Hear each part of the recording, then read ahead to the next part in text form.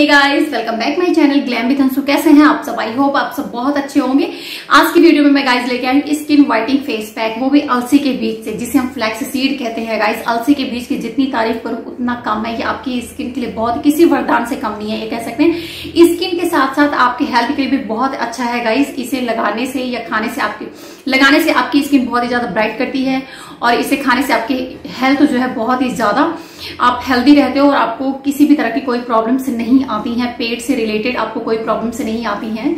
Guys और मैं skin को लेकर बात करूँ गाइस तो अलसी के वीज में जो है थ्री ओमेगा फैटी एसिड पाए जाते हैं, जो आपकी स्किन को बहुत ही ज़्यादा खूबसूरत बनाते हैं और बहुत ही ज़्यादा गोरा करते हैं। इसमें कौन से थ्री ओमेगा एसिड पाए जाते हैं गाइज़ वो मैं आपको बता रही हूँ, जिसमें antioxidant anti inflammatory and fibre की प्रॉपर्टीज़ पाई जाती हैं, जो आपकी स्किन को बहुत ही ज़्यादा ब्राइट खूबसूरत और टाइट करती हैं। अगर आप इसका फेस पैक बनाकर वीकली वन टाइम यूज़ करते हैं तो आपके फेस पर झुर्रियाँ नहीं आती आपके फेस पर जो रिंकल्स पिंपल्स की प्रॉब्लम से दूर हो जाती हैं।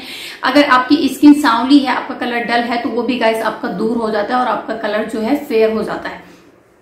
तो ये थी गाइस अलसी के फेस पैक बनाने की बात और किस तरह हमारे फेस को बहुत ही ज़्यादा खूबसूरत कर सकता है और इसमें ऐसी कौन सी प्रॉपर्टीज़ पाई जाती हैं जो हमारी स्किन के लिए बहुत अच्छी होती थी ये सारी बातें हो गई। अब मैं बताऊँगी आपको इस फेस पैक को कैसे बनाना है।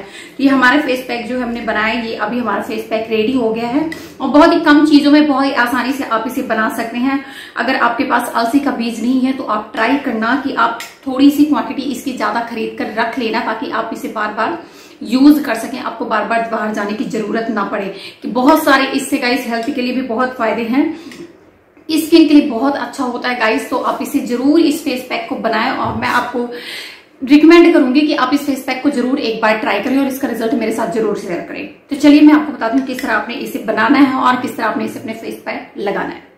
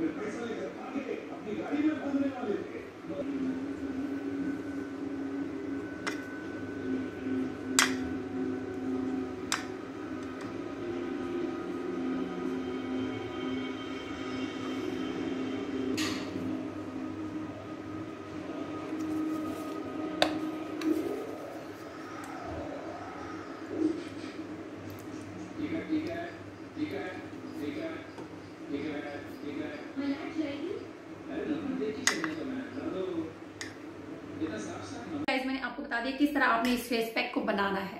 तो आपको मैंने बता दिया, आपने बना लिया होगा और बना लिया होगा, नहीं, बना लेंगे। तो अब मैं आप बताती हूँ, आपको किस तरह अपने फेस पर लगाना है। तो सबसे पहले आपने अपने फेस को वॉश कर लेना। आपके फेस पर अगर आपने कुछ लगाया है तो आपके अपने फेस से उसे रिमूव कर लेना है।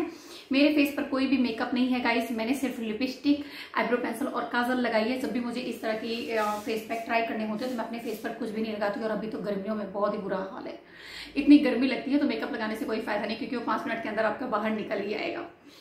तो चलिए गाइस ये सारी बातें हो गई और अब मैं आपको इसे अपने फेस पर लगा कर दिखाऊँगी। तो इस तरह गाइस इसे अपने हल्के हाथों से पूरे फेस पर ऐसे फैलाते हुए लगा लेना है। पैच टेस्ट ज़रूर कर लेना आप, क्योंकि इसे, अगर आपकी स्किन सेंसिटिव है या आपको ये फेस पैक नहीं सूट करता तो इससे आपको पता चल जाएगा और आपके फेस पर इसका कोई भी रिएक्शन नहीं होगा गाइस कोई भी फेस पैक आप लगाते हैं तो उसका पैच टेस्ट ज़रूर कर लें। वैसे भी ऑल टाइप स्किन के लिए, चाहे सेंसिटिव हो नॉर्मल हो ड्राई हो ऑयली हो, किसी भी तरह की स्किन हो गए सभी के लिए ये फेस पैक बहुत ही अच्छा है बट आपको अगर लगता है किसी तरह आपको इससे हो सकता है तो आप इसे एक बार इसका पैच टेस्ट ज़रूर कर लें।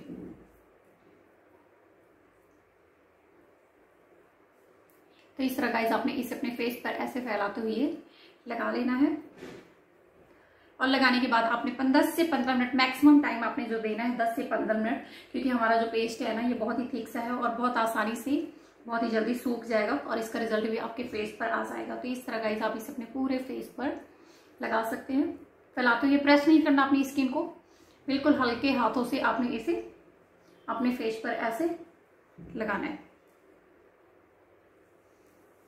और हाँ मैं हाउस वाइफ हूँ तो उसके साथ मैं आपके साथ ज़रूर शेयर करूँगी। आप उतना ही फेस पैक बनाएँ जितना आप इसे यूज़ कर सके। आपका फेस पैक वेस्ट ना हो। अगर यह कोई और लगाना चाहता है तो आप उसके लिए बनाएँ कि थोड़ा सा बच जाए। आप उस अकॉर्डिंग बनाएँ, उतनी मात्रा में बनाएँ कि आपका ये वेस्ट ना होगा इस क्योंकि आप किसी भी चीज़ को ना, आप वेस्ट ना करें। तो इस तरह का इसे आपने इसे लगा लेना है तो भी देख सकते हैं। मैंने इसे लगा लिया है और अब मैं इसे अपने फेस पर छोड़ दूँगी। 10 से 15 मिनट के लिए, ताकि हमारा अच्छी तरह ये सूख जाए, उसके बाद मैं अपने फेस को वॉश कर लूँगी। हमारा फेस पैक जो है सूख गया है, और अब मैं इसको नॉर्मल वाटर से वॉश कर लूँगी। देख सकते हैं गाइज़ मैंने अपने फेस को वॉश कर लिया है। तो इस तरह आपने अपने फेस को वॉश कर लेना है, और आपने वीकली इसे वन टाइम यूज़ करना है। तो इस तरह आप अपने फेस पर, इस फेस पैक को लगा सकते हैं। तरह गाइज़ आप इस फेस पैक को बनाकर अपने फेस पर लगा सकते हैं और अपने सावलेपन से छुटकारा पा सकते हैं। आपके फेस पर जो भी इस तरह की प्रॉब्लम्स हैं, आप उन सभी चीज़ों से छुटकारा पा सकते हैं और अपने आप को बहुत ही ज़्यादा यंग और खूबसूरत बना सकते हैं। अगर आपको मेरी वीडियो अच्छी लगती है तो मेरी वीडियो को लाइक और अगर आपने हो तो मेरे चैनल को सब्सक्राइब ज़रूर करना। एंड हाँ मुझे कमेंट करना बिल्कुल मत भूलना कि मेरी बताई हुई रेमेडी आपको कैसी लगी। तब तक ले thank you thanks for watching bye